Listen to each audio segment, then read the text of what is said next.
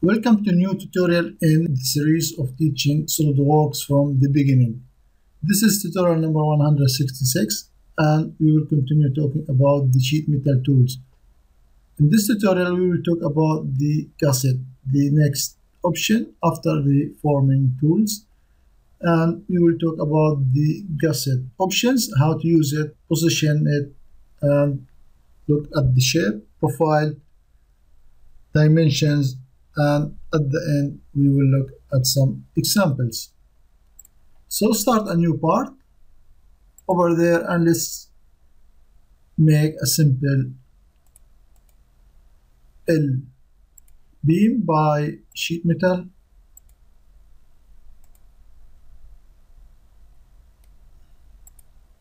Let's give it some dimensions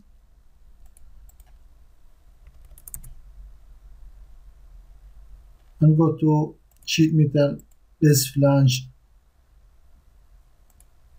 extruded to 30 let's make it a little, a little bit wider 50 millimeter. So on the bend radius 1 millimeter the thickness 1 millimeter and k factor 0.38 so these are the values we are using almost in all our tutorials. So now let's have a look at the gusset tool. If you look over there, you will see the gusset icon and also you will notice that it is a part in the forming tool section. So actually the gusset is a forming tool, but it has the gusset shape. So because it is a standard shape and it used to give to make the sheet metal stronger and increase the stiffness of the sheet metals. And you can, for example, when you use it, you'll notice it is a forming tool which you can make by yourself. So start the gusset, click on it, and here you will see the options you have the position and offset and profile. So let's talk about the position. From the icon over there, you need to select two faces. So let's select this face and this face. You will see the gusset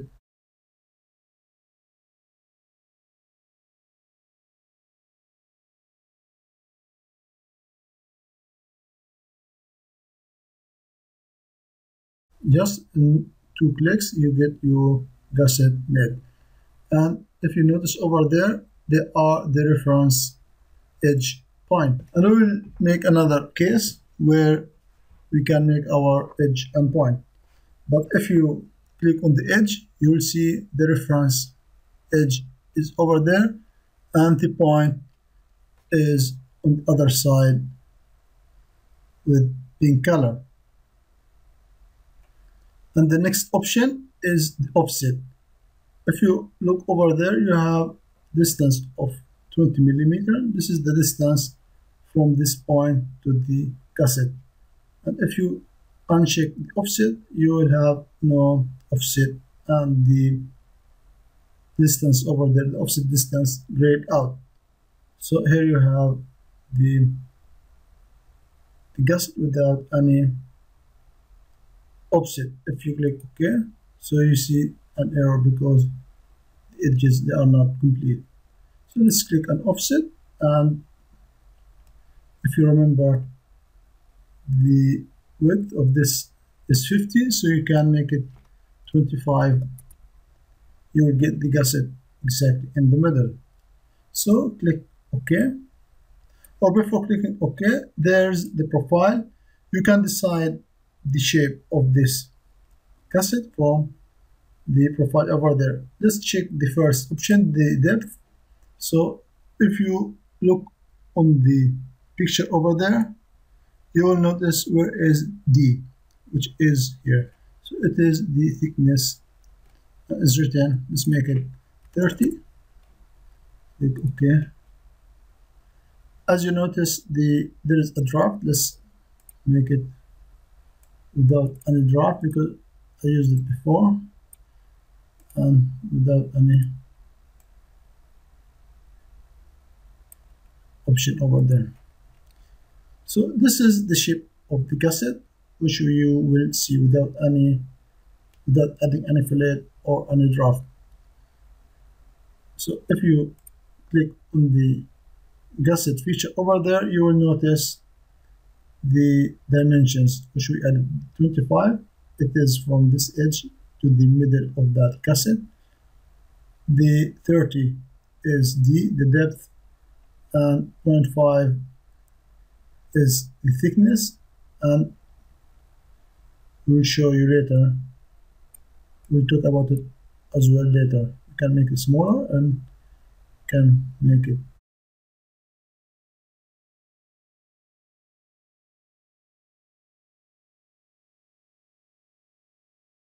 click OK. And if you change so that is the thickness over there.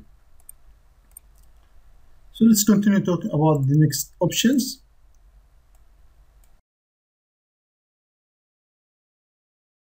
The profile dimensions you have d1 d2 you can imagine it like a chamfer for example you can decide by the length of edges over there one here and one there because you see d1 and d2 can be this 20 and the second 40 or make this one 30 and this one 10 and also you can control with the with the angle with the angle over there you can make it 45 and the length 30 or you can make it 30 so you understand the logic the meanings of this. And if you click over there flat gusset you will have just without any fillet. If you click ok you will get this gusset so let's back again and click in the filleted gusset and now here are the other options. If you would like to make it wider for example you can make it 10 and the indent thickness should be less than the indent width. For example we have 10 so here it should be 4 less than the half. Click ok. And ended and the gusset work it. Let's edit again. If you make it 5 it, it will fail. So we make it 4.9 and you will get a very thick gusset. So let's make it again one millimeter similar to the thickness to the sheet metal thickness. So here you can add fillet from inside and outside. So if you make one millimeter let's make it two millimeter. Click ok. You will get this inner fillet and we can also add a fillet on the outside. Let's add a fillet here for two or three millimeter and click ok. And you will get the fillet over there inside and outside this is one case of using the gusset so now this LBM gets supported by this gusset so let's suppress this gusset and show you how to use the line. Make a line on that edge. So if you would like to have a gusset with an angle let's make a line for example. And give it some dimension. 135 and make it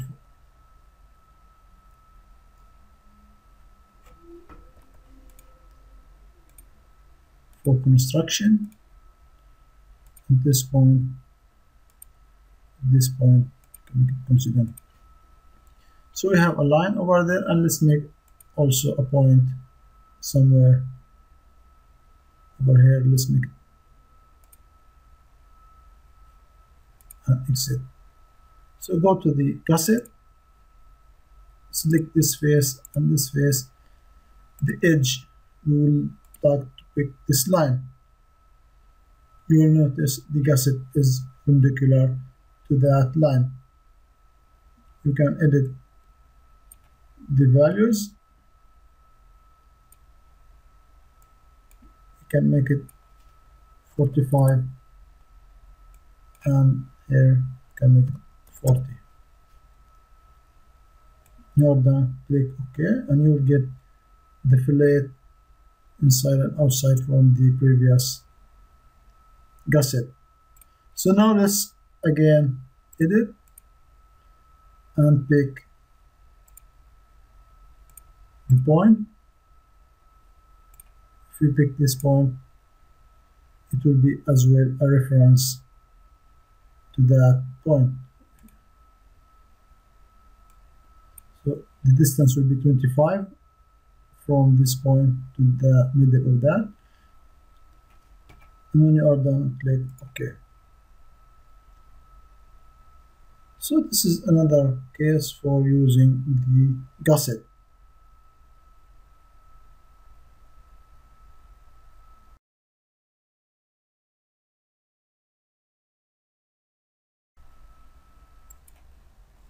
So now let's start using the gusset in our previous example, which we did in tutorial number 158. As you remember, we made this shelf holder and we added this tab to fix it on the wall.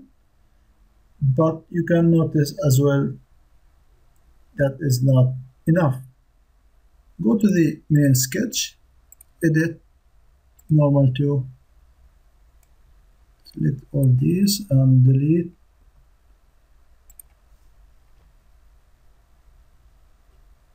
Rebuild and unsuppress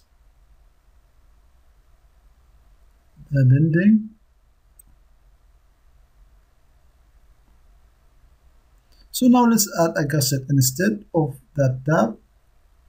Click on uh, gusset pick this face and this face and let's now add a draft. And the thickness will be one millimeter and we make it a bit.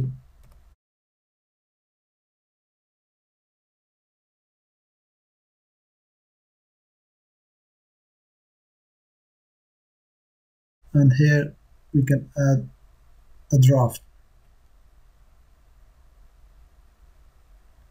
And the depth of make it 50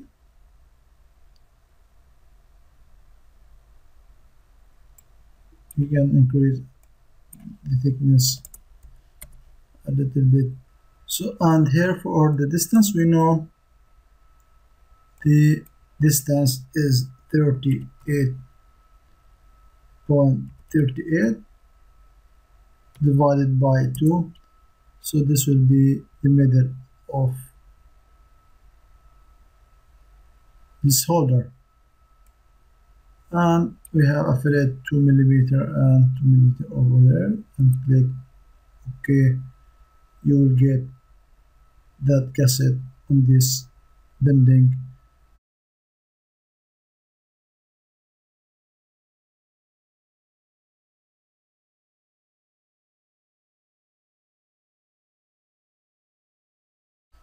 And the shelf holder is stronger and can hold heavier loads.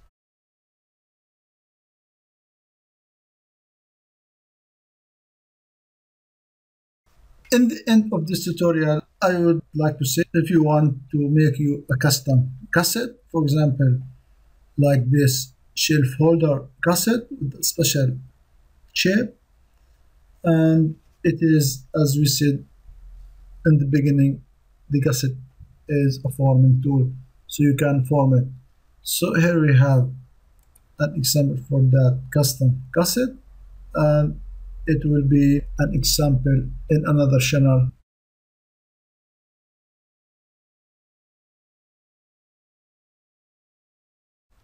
And the link will be below